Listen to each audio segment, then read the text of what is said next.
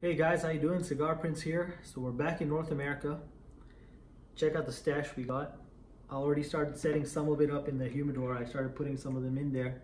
Um, I'm gonna arrange some more of them here. So we had a really successful buying trip. We got some Juan Lopez selection number twos. Uh, like I did that review a little while ago. Told you guys it was really excellent cigar, great flavors. So we got 25 of those, a cabinet of those. Uh, we got 25 uh, of the El Rey del Mundo Choix Supreme. I've already set them up in here. Um, we got some uh, Hoyo de Monterrey Epicure Especial that I'm going to fit in there. And uh, yeah, so this is pretty much, I'm going to do a little bit of, you guys following the videos know exactly what we kind of bought more or less while we were there uh, in Cuba.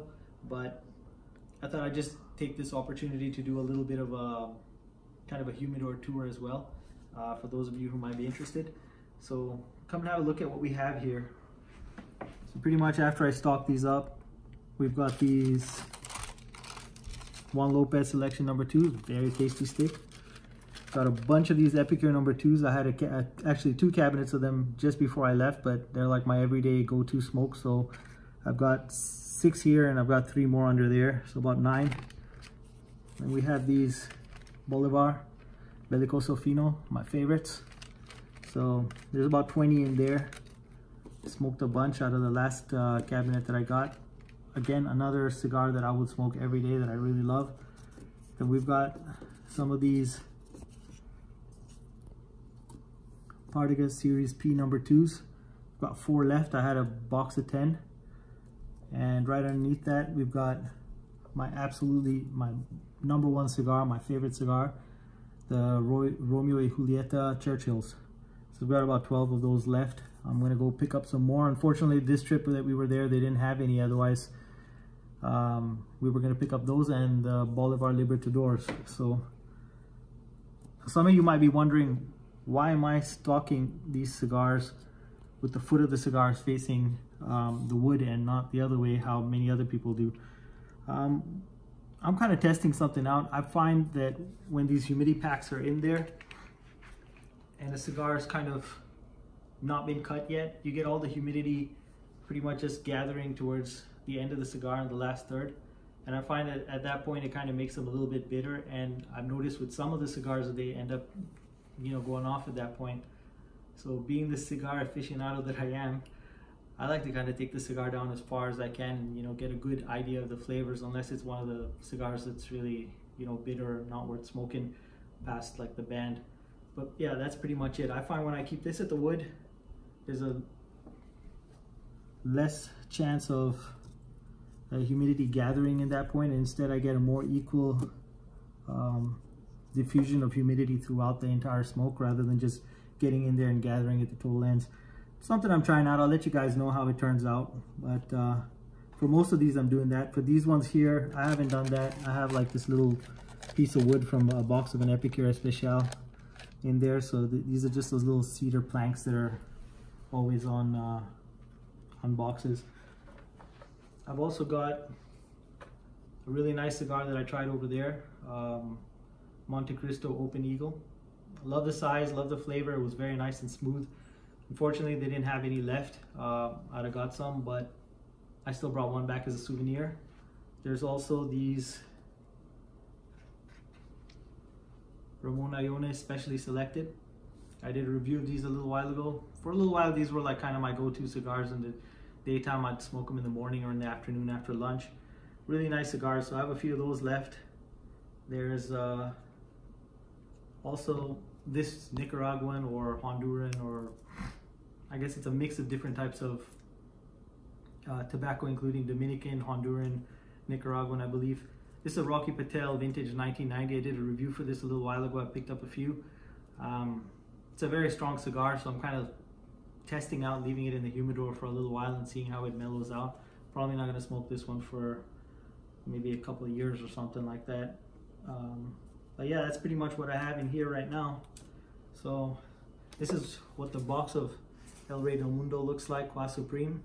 It's a very cool box. It's got like these medals and stuff that they received.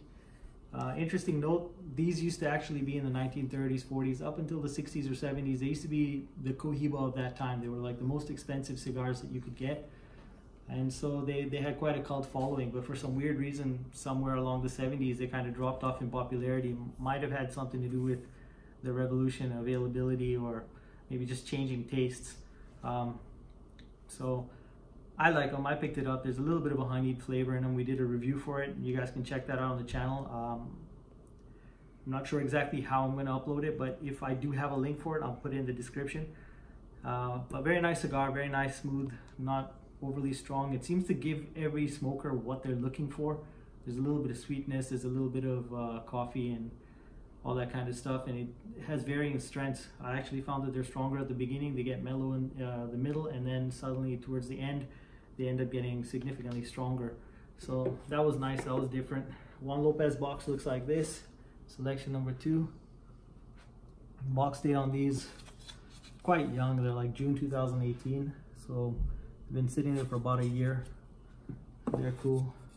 It's a Partagas Series P number two box right here. Comes with a box of 10. Um, yeah, so pretty much that's it. Picked this up uh, in Cuba from the Habanos LCDH store. Needed a cutter there. Didn't want to take one of these fancy ones over there because it's just kind of too much to carry around.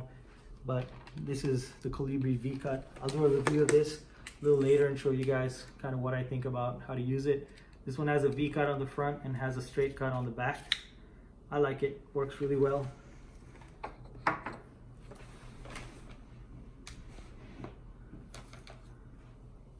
So I'm gonna get this stuff stocked up and uh, I'll hit you guys back with the once it's done. But you guys can have a look at this. This is my favorite. Hoyo de Monterrey Epicure number two.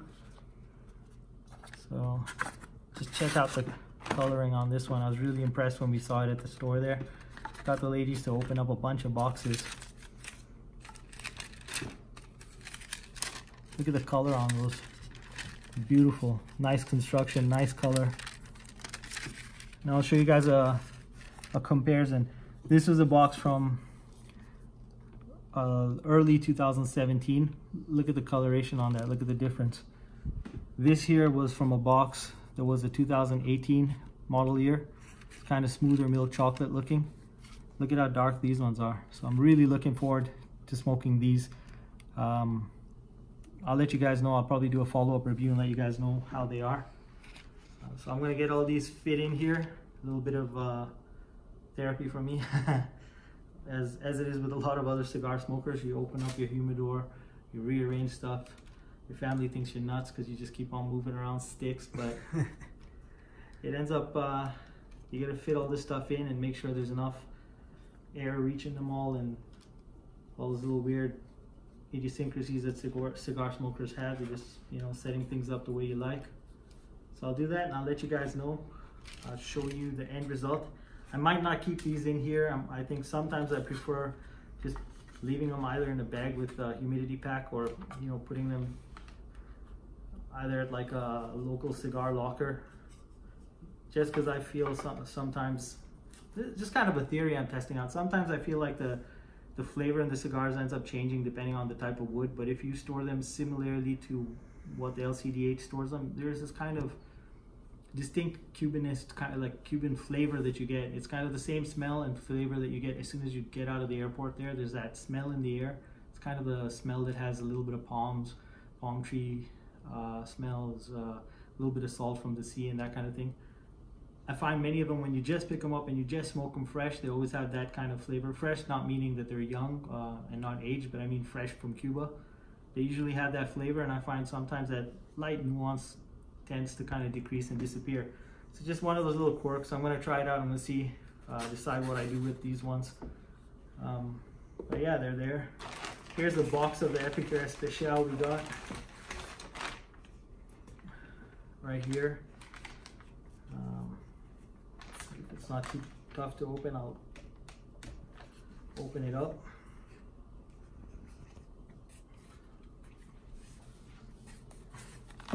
Probably gonna need a knife to pry this open, but here's what they look like. I think I have I have a few left over from last time that are right here. So you can have a peek at those. Those are Epicure Special. Hoyo de Monterrey's. Very, very beautiful smoke. I'm yet to do a review for this. I'm going to do it soon. It's one of those cigars that has, if you find one that's not plugged or that the draw is like not too, um, you know, with, with an open draw, it ends up being one of the best cigars. Just the quality of the smoke, how elegant that smoke is, how light it is, and those flavors, everything is very finessed. It's a very luxurious cigar, very beautiful cigar. Um, so I'll work on that. I'm going to show you guys one other one right here, which is I'm looking very forward to. This is the LCDH Special, and they're the Hoyo de Monterrey Elegantes special edition cigar that uh, these guys make. It's a box of 10. You guys got to check out how these look.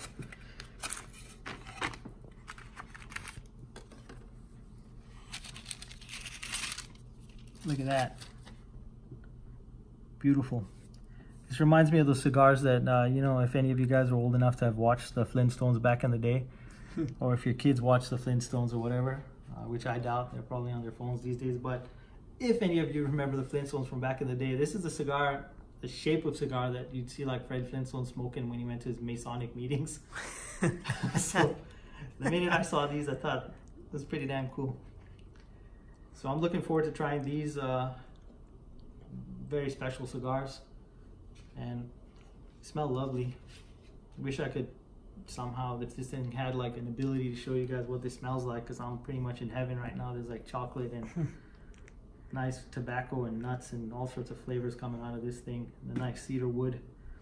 Um, but yeah, pretty much that's. I'm gonna leave you guys with that. I'm gonna fill this baby up, and um, maybe later on I'll show you how I fit everything in. Uh, till then, guys, cheers.